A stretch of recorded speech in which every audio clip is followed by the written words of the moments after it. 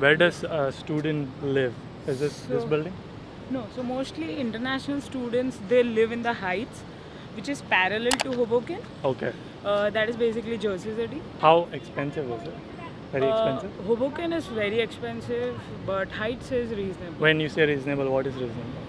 So a shared room can uh, can be bought for four hundred dollars a month, and a private room can be bought for 600 650 a month. Okay, so not not so so bad. Yeah.